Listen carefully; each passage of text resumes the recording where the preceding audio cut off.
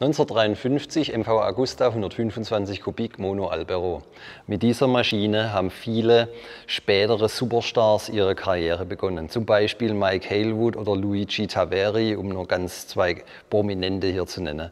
Die MV Agusta 125 Mono Albero hat eine obenliegende Nockenwelle, Mono Albero, ja, wie der Name schon sagt, äh, die durch Zahnräder hier angetrieben werden, durch eine Zahnradkaskade, ein sehr aufwendiges, teures System, aber eben auch sehr präzise, drehzahlfest.